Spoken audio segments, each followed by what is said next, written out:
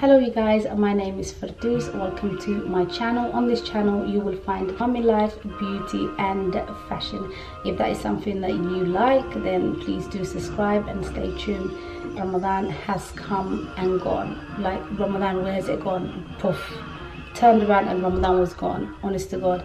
For those that don't know, I gave birth seven weeks ago, so I am not fasting this year, but I will be making up inshallah in the future. I'll be making up the days that I've missed, but my daughter and my husband are fasting, and even them two that love food were like, Ramadan has gone quick.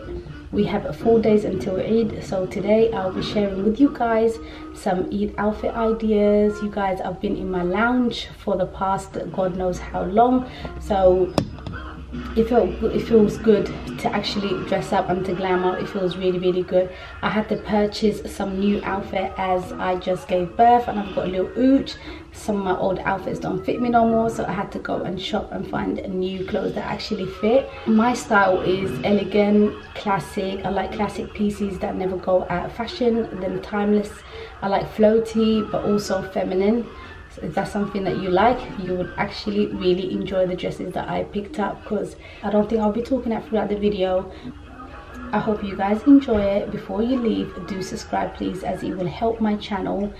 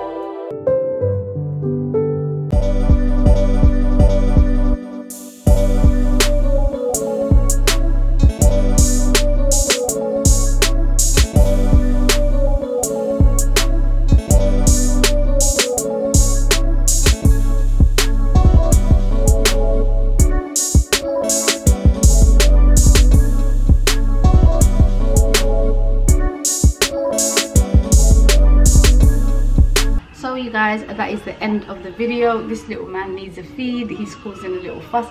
I hope you guys enjoyed the video. If you like any of the dresses it will be in the description down below so you can purchase it yourself. I hope you all have a wonderful eid. This little one is crying because it's due for his feed. So i hope you do like the video. Please do give it a thumbs up. If you are if you are not subscribed please do subscribe. So until then you guys happy eid. Have a wonderful wonderful eid.